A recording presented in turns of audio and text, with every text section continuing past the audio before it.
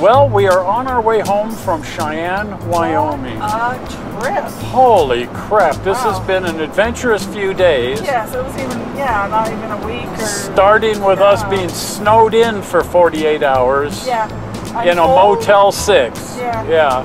We didn't plan on that, but you don't generally plan on getting snowed in in a I Motel was 6. Just glad we had a place to go. So we We got the last room. Yeah. So that was, there were people sleeping in cars and trucks along the side of the highway with guys sleeping in those.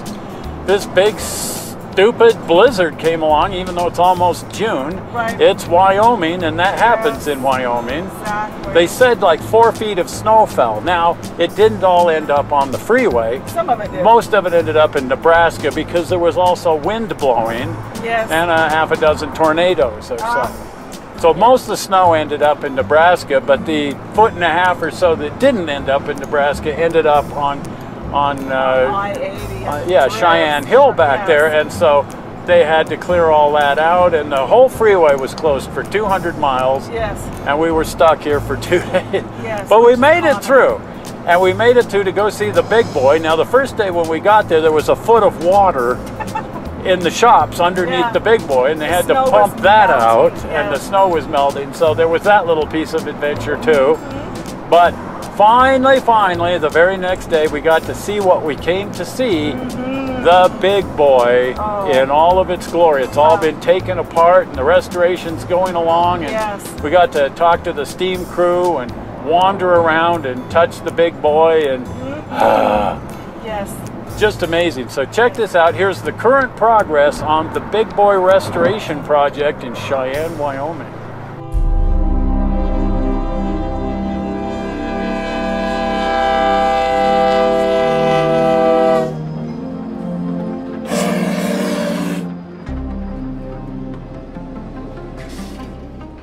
Well, a couple of years ago, they pulled the big boy out of Los Angeles and brought it up here to Cheyenne for rebuilding. And we've been threatening to get up here and, mm-hmm. and show you guys where they're at with that. And we finally got a chance. We came up here for depot days and visited the big boy in its natural environment, the back shops over there at the Roundhouse.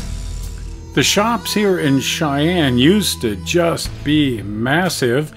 They had to be because this is where they worked on their big engines like the big boy. But it was just a huge, huge facility, and only part of it remains, but uh, enough that they can keep their steam engine fleet running. Known as the Heritage Fleet, there's actually five locomotives here, but realistically, only three of them will ever run. Only three of them are intended to run. This is the Challenger, which is awaiting a rebuild here. But this is what has attracted us a big boy. They're rebuilding 4014 here in the shops, and we came here to get a bit of a progress report and share that with you guys on just where they're at here on 4014. That's the big boy.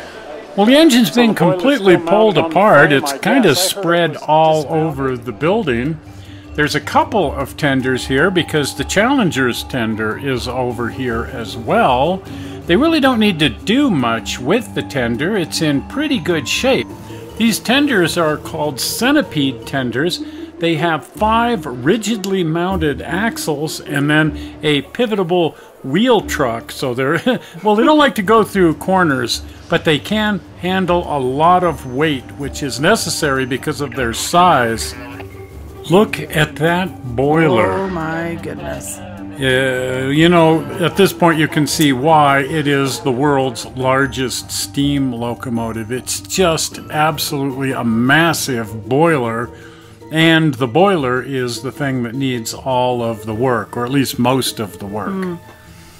It was not in excellent condition. No. So they have started a lot of the boiler rebuilding here. You can see that they've put in a new tube sheet here. That's very critical.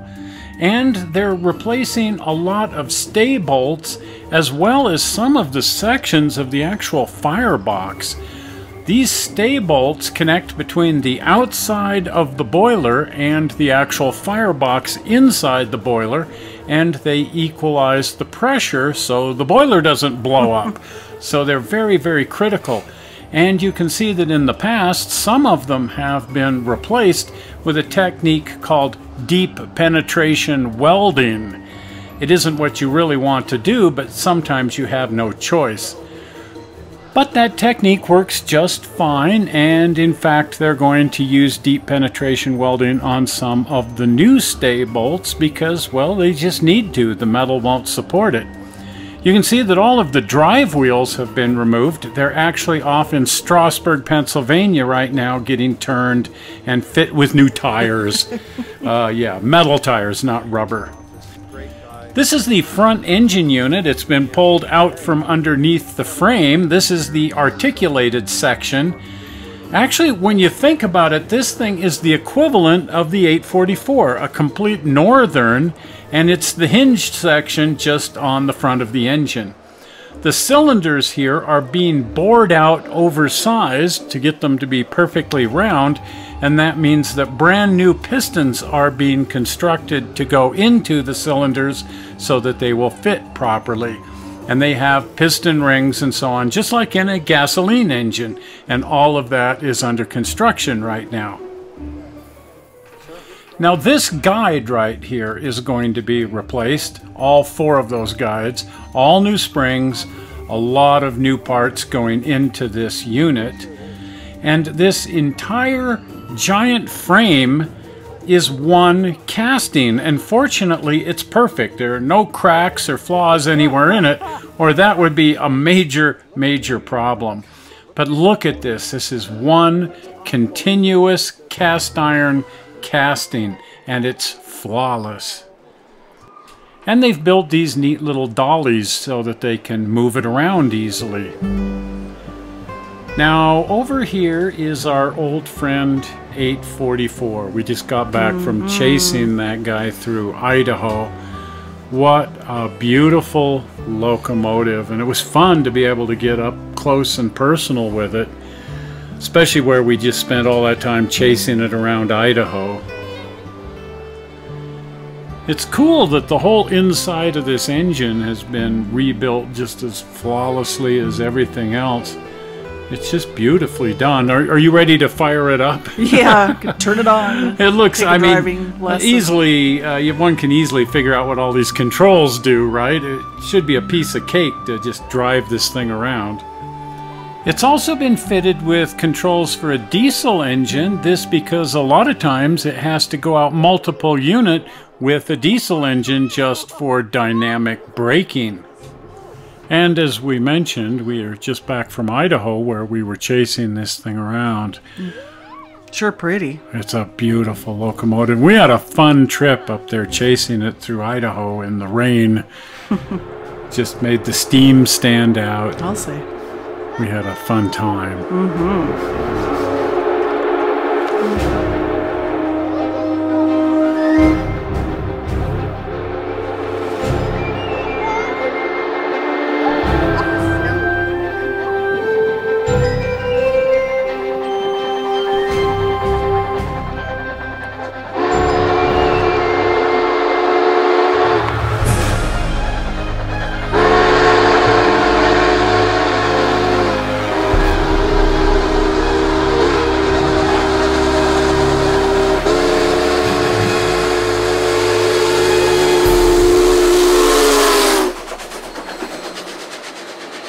Now, in that Idaho show, I mentioned that they're now filtering and softening the water that they run in this engine. This is Ed Dickens, and in an upcoming show, he's going to explain to us how this water filtration system works. He also shared with us the neat videos that he shoots here with his iPhone from the cab of the engine. Wonder what kind of arm twisting we'd have to do to get him to share that footage with us. Yeah. But it's just one of those things that you gotta strategize what you're gonna fix next. That's Ted Schulte, fireman. Outstanding fireman. No kidding.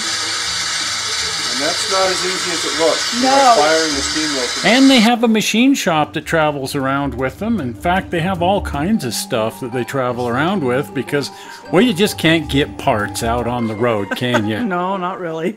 so that is the current progress on the big boy. Wow, that thing is massive. I mean, I knew it was big, like the 844, but yeah. Well, we got to play with the 844 Yes, it was like seeing an old friend. I'm like, Yeah. oh, look at it. It's an old friend. because we were just we were just chasing it around Idaho just Right. a few you know a couple of weeks ago. Exactly. And now we're sitting there, and there it is, just parked, And and, it's home. and we're in the cab, and we're going. Well, this is cool. Yeah, they had a platform so you could walk up and the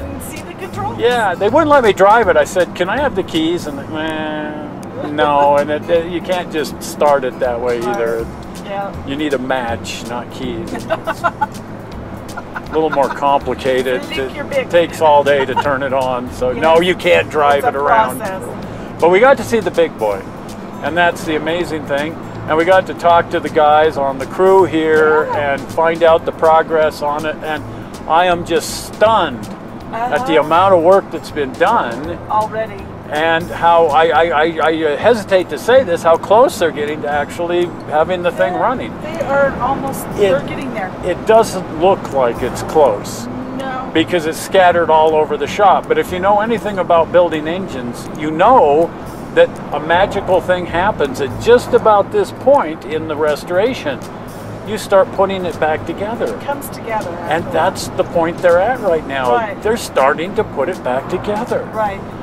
And uh, the, when they finish that process, the next point is to throw a match in the firebox and go for a ride. Right. So, does that mean it's going to happen right away? No. I wish we could be there when they fire it off. We are going to be there when they I fire would it. love to be there when they Well, they're cool with it. We just, if it's in the middle of winter, this road will be closed again, Oh yeah. and we won't be able to get through again. At least for two days. But if they if they fire it up at some point in time when the freeways open here, we are going to be there, Mm-hmm. and we are going to uh, be thoroughly amazed at all of that. And everybody's hope is that it will make the 150th anniversary for the driving of the Golden Spike No. in 2019. Yep.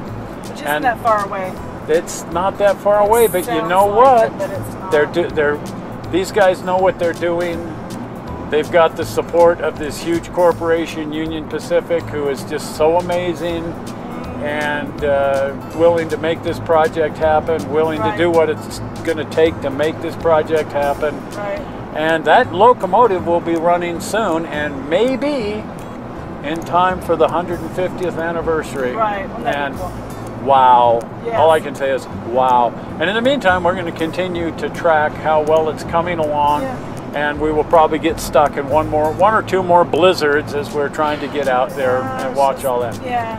But Wyoming. holy crap. So you will be there too as all of this takes place. Mm-hmm. Well, if you haven't been over to the channel, do pop on over to the channel. There's just about 200 movies. Not quite, but pretty darn close to 200 movies. This one, is this the 200? I don't think so. I have to look. I think this is like the 199th. Okay.